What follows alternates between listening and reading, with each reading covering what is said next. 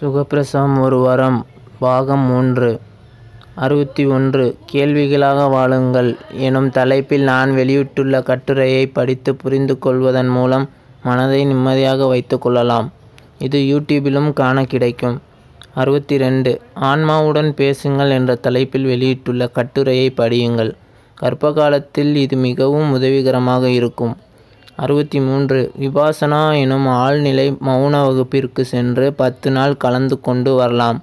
கருத்தரிப்பதற்கு முன்பே இந்த வகுப்பில் கலந்து கொண்டு பேசாமல் மௌனமாக இருக்கும் இந்த தியானத்தில் பங்கேற்று வருவது சிறந்தது. கர்ப்ப காலத்தில் செல்ல வேண்டாம். கரு தரிப்பதற்கு முன்பே இந்த வகுப்பில் கலந்து கொள்வது சிறந்தது. அறுபத்தி நாலு கர்மா தியரி எனும் தலைப்பில் நான் வெளியிட்டுள்ள கட்டுரையை படியுங்கள்.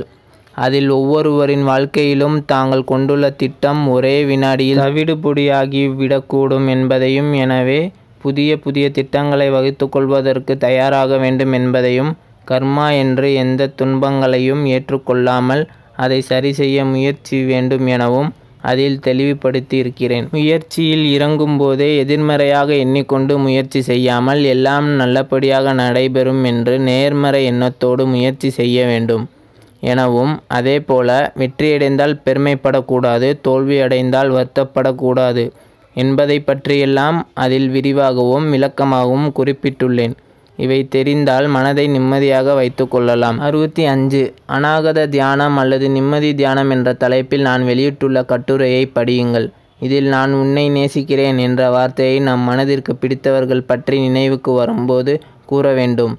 நமக்கு பிடிக்காதவர்களை பற்றி நாம் நினைவுக்கு வரும்போது இறைவா அவர்களை ஆசீர்வதியுங்கள் என்றும் நம்மால் பாதிக்கப்பட்டவர்களை பற்றி நினைவுக்கு வரும்போது என்னை மன்னித்துவிடு என்றும் நமக்கு உதவி செய்தவர்களை பற்றி ஞாபகம் வரும்போது நன்றி என்றும் கூற வேண்டும். என்றும் விளக்கமாக கூறியிருக்கிறேன். இந்த நான்கு வார்த்தைகளை திரும்ப திரும்ப கூறுவதன் மூலம் நல்ல கருவை உருவாக்க முடியும். அறுபத்தி ஆறு தந்திராவளியில் தாம்பத்தியம் என்ற நூலை கணவன் மனைவி இருவரும் முழுமையாக படித்து புரிந்து கொண்டிருக்க வேண்டும். தந்திராவளியில் தாம்பத்தியம் எனும் பயிலரங்கு கோவையில் நடைபெற்று வருகிறது.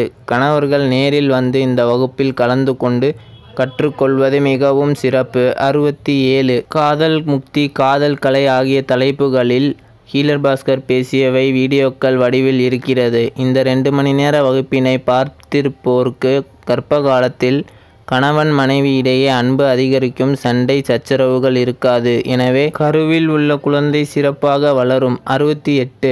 முக்தி என்ற தலைப்பில் ஹீலர் பாஸ்கர் பேசியிருக்கும் வகுப்பின் வீடியோவினை முழுவதுமாக பார்க்க வேண்டும்.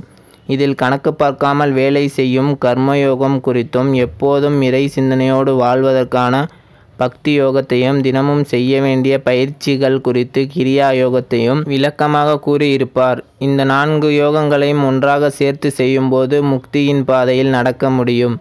அறுபத்தி ஒம்பது மூச்சு பயிற்சியில் பலவிதமான பயிற்சிகளை ஒவ்வொருவரும் கற்று வைத்திருக்க வேண்டும். ஏனென்றால் பிரசவ வழியின் போது மூச்சு பயிற்சி மட்டுமே கை கொடுக்கும். எனவே எந்த ஆசிரமத்தில் அல்லது எந்த குருநாதரிடம் அல்லது யோகா மையத்தில் நீங்கள் மூச்சு பயிற்சியை கற்றுக்கொண்டிருந்தாலும் அதை தொடர்ந்து செய்து வாருங்கள். அது பிரசவத்தின் போது உதவியாக இருக்கும். எழுவது. சமையலுக்கு உபயோகிக்கும் எண்ணெய்கள் செக்கில் அரைத்த ஒரிஜினல் எண்ணெயாக இருக்க வேண்டும். ஊடகத்தில் விளம்பரம் செய்யப்படுகிற பாக்கெட்டுகளில் அடைத்து கடைகளில் விற்கப்படுகிற எந்த எண்ணெயும் ஒரிஜினல் எண்ணெய்கள் அல்ல. லிக்விட் பேராஃபைன் எனும் பெட்ரோலிய பொருட்களில் இருந்து தயாரிக்கப்படுபவை ஆகும். எனவே இவற்றை தவிர்த்துவிட்டு செக்கில் அரைத்த தேங்காய் எண்ணெய் கடலை எண்ணெய் எள் எண்ணெய் மட்டுமே பயன்படுத்துவது சிறப்பாகும். எழுபத்தி ஒன்று. டிவி போன்ற ஊடகங்களில் விளம்பரம் செய்யப்பட்டு விற்கப்படுகிற பிரபல நிறுவனங்களின் சோப்புகள் அனைத்தும் உடலுக்கு தீங்கு செய்பவை. இவை பாமாயில் கழிவுகளை கொண்டு தயாரிக்கப்படுகிறது. செக்கில் அரைத்த தூய்மையான தேங்காய் எண்ணெயில் தயாரிக்கப்படும் சோப்புகளே சிறந்தவை என்பதால் அதையே பயன்படுத்த வேண்டும். மேலும் வீட்டிலேயே சோப் தயாரிக்கும் முறையை பற்றி அறிந்து கொண்டு நீங்களே தயாரித்து பயன்படுத்துவது சிறப்பு.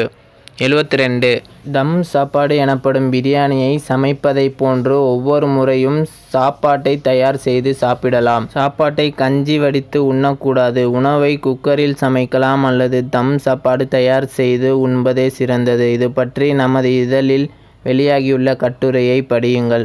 எழுபத்தி மூணு தம் சாப்பாடு என்றொரு கட்டுரையை ஹீலர் பாஸ்கர் எழுதியுள்ளார். அந்த கட்டுரையில் வடித்த உணவிற்கும் ரைஸ் குக்கர் ப்ரெஷர் குக்கர் போன்றவற்றில் சமைத்த உணவிற்கும் மண் பாத்திரத்தில் சமைத்த உணவிற்கும் உள்ள வேறுபாடுகளை பற்றி விளக்கமாக அறிந்து கொள்வீர்கள்.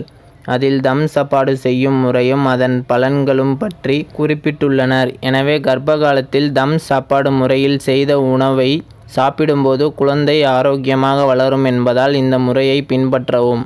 எழுபத்தி நாலு பண்பலை வானொலி எஃப்எம் ரேடியோ நிகழ்ச்சிகளை கேட்கும் பழக்கத்தை முற்றிலும் தவிர்த்து விடுங்கள்.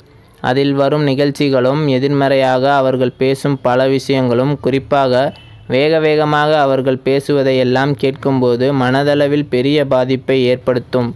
இது கர்ப்பத்தில் வளரும் குழந்தைக்கு உகந்தது அல்ல. எழுபத்தி ஐந்து. ஸ்கேன் போன்ற பரிசோதனைகளை செய்யக்கூடாது. ஸ்கேன் செய்யும்போது ஏற்படும் கதிர்வீச்சானது கருவில் வளரும் குழந்தைக்கு ஆபத்தை விளைவிப்பவை. எழுபத்தி ஆறு. சத்துள்ள இணை உணவுகள் ஃபுட் சப்ளிமெண்ட் என்ற பெயரில் கால்சியம் சத்து இரும்பு சத்து மாத்திரைகள் போன்றவற்றைகளும் சத்து டானிக்குகள் என்ற பெயரில் எதையுமே சாப்பிடக்கூடாது.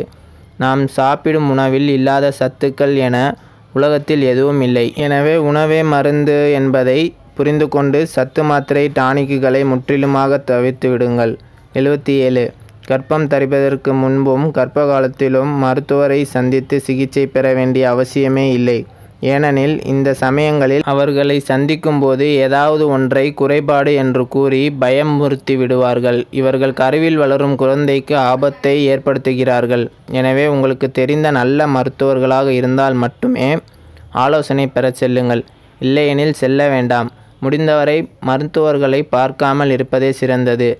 இறை சிந்தனையோடு வாழ்பவர்கள் மருத்துவர்களை பார்க்க வேண்டிய அவசியம் இல்லை. எழுபத்தி எட்டு கர்ப்ப காலத்தில் அடிக்கடி பரிசோதனை செய்து கொள்ள வேண்டும் என்று வலியுறுத்துவார்கள். அரசு மருத்துவமனைகள் சுகாதார நிலையங்களில் இருந்தும் நேரடியாக வீட்டிற்கே வந்து அடிக்கடி செக்கப் செய்வார்கள். அப்படி வரும்போது அவர்களை துரத்தி விடுங்கள். இது தொடர்பாக உங்களுக்கு உதவி தேவைப்படும் போது எங்களை தொடர்பு கொள்ளுங்கள். உங்களுக்கு உதவி செய்கிறோம். எழுபத்தி ஒம்பது குடும்பத்தில் சண்டை சச்சரவுகள் இல்லாமல் இருக்க வேண்டும். எண்பது. கற்பகாலத்திலும் அதற்கு பின்னரும் நல்ல வார்த்தைகளை மட்டுமே பேச வேண்டும். எதிர்மறை வார்த்தைகளை பேசுவதை தவிர்க்க வேண்டும். எண்பத்தி ஒன்று. கற்பகாலத்தில் மனதிற்கு இதமான நல்ல உணர்வுகளுடன் மட்டுமே இருக்க வேண்டும். கெட்ட உணர்வுகளுடன் இருக்கக்கூடாது. எண்பத்தி ரெண்டு. நல்ல விஷயங்களை மட்டுமே கற்பனை செய்து பார்க்க வேண்டும். கெட்ட விஷயங்களை கற்பனை செய்யக்கூடாது. எண்பத்தி மூன்று. முடிந்தவரை மகிழ்ச்சியாக வாழ வேண்டும். எண்பத்தி நாலு. முடிந்தவரை அமைதியாக வாழ வேண்டும். எண்பத்தி அஞ்சு. முடிந்தவரை கூலாக மனதை இலகுவாக வைத்துக்கொண்டு வாழ வேண்டும். எண்பத்தி ஆறு. எப்போதும் இறை சிந்தனையோடும் இறை நம்பிக்கையோடும் வாழ வேண்டும். எண்பத்தி ஏழு. எப்போதும் சாதாரணமாக கேஷுவலாக இருக்க வேண்டும். எண்பத்தி எட்டு இயற்கையுடன் இணைந்து வாழ வேண்டும். எண்பத்தி ஒன்பது விலங்குகள் எதையும் எண்ணிக்கொண்டிருக்காமல் இருப்பதைப் போன்று நாமும் அந்த வினாடியில் தோன்றும் உணர்வுகளுக்கு ஏற்ப பிரவாகமாக அந்த வினாடியில் மட்டுமே அனுபவிக்க வேண்டும். தொண்ணூறு குறிப்பிட்ட நாளையும் நேரத்தினையும் ஜோதிடம் பார்த்து முடிவு செய்து கொண்டு அதற்கு ஏற்றாற்போல வயிற்றில் உள்ள சிசுவினை கத்தி வைத்து அறுத்து எடுக்கும் குழந்தை ஜோதிடப்படி நல்ல நேரம் நல்ல நாளில் பிறந்துவிட்டதாக முடிவு செய்து கொள்ளும் பழக்கம் தற்போது அதிகரித்து வருகிறது. இந்த முறையில் பிறக்கும் குழந்தை ஆரோக்கியமானதாக இருக்காது என்பதுடன் இயற்கைக்கும் இறைவனுக்கும் முரண்பாடானதாகவும் அமைகிறது. முதலாவது கத்தி வைத்து அறுவை செய்து குழந்தையை எடுப்பதே தவறு. அதிலும் ஜாதக பலன்களை கருதி கொண்டு ஒரு சிசு முழு வளர்ச்சியடைய விடாமல் சுகப்பிரசவமாக அமைய விடாமல் அறுவை செய்து குழந்தை எடுப்பது அதனினும் தவறு. தேர்வு எழுதிய பின்னர் அதற்குரிய மதிப்பெண்களை பெறுவதும் மதிப்பெண் பட்டியலை தயார் செய்துவிட்டு தேர்வு எழுதுவதற்கும் எவ்வளவு வித்தியாசம் இருக்கிறது என்று யோசித்து பாருங்கள். உண்மையில் இயற்கையை இறைவனை நம்புகிறவர்கள் குழந்தை எப்போதும் பிரசவித்து அதுவே வெளியே வருமோ? அப்பொழுது வரட்டும் என சுகப்பிரசவத்திற்கு பொறுமையாக காத்திருப்பார்கள். இதுதான் சரியானது. இதுவே முழுமையடைந்த இயற்கையான பிரசவமாகும். உங்கள் வீட்டு சமையலறையில் ஒரு உணவை தயார் செய்து கொண்டுள்ள சமயத்தில் அதை முழுமையாக தயாராகும் முன்பே அரைகுறையாக வெந்தும் வேகாமல் ஒரு உணவை சாப்பிடுவதற்கு எடுத்து வந்து பரிமாறினால் எப்படி இருக்கும்? அந்த உணவை சாப்பிடலாம் ஆனால் அது முற்றுப்பெறாத உணவாகத்தானே இருக்கும்.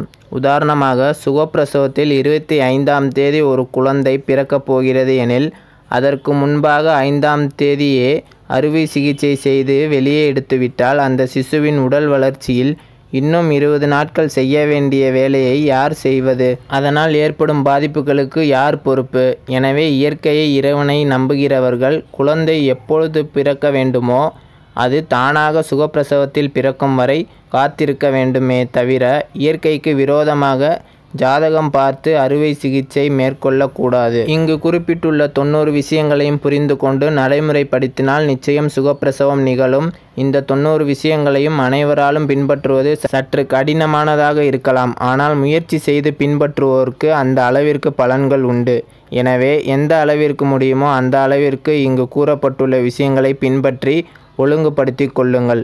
சில விஷயங்களை நம்மால் மேற்கொள்ள முடியவில்லையே என வருத்தப்பட வேண்டாம். அதே சமயம் பல விஷயங்களை நாம் பின்பற்றி வருகிறோமே என பெருமைப்படவும் வேண்டாம். எவ்வளவு முடியுமோ அவ்வளவும் நடைமுறைப்படுத்தி வாருங்கள். அதன் பின்னர் எல்லாம் வல்ல இறைவா இனி எல்லாம் உன் பொறுப்பு என்று அமைதியாக பொறுமையாக இருங்கள். கண்டிப்பாக சுகப்பிரசவம் நடக்கும். இந்த வீடியோ உங்களுக்கு பிடிச்சிருந்தா உங்கள் நண்பர்கள் அனைவருக்கும் பகிருங்க. அது மூலிமா அவங்களும் பயன்பெறட்டும். நம்ம சேனல் உங்களுக்கு பிடிச்சிருந்தா சப்ஸ்கிரைப் பண்ணி பெல் பட்டன்ற ஆல்ன்ற ஆப்ஷன் கிளிக் பண்ணிக்கோங்க. அப்போ தான் தினமும் நான் போடக்கூடிய வீடியோ உங்களுக்கு நோட்டிஃபிகேஷனில் வரும். நன்றி.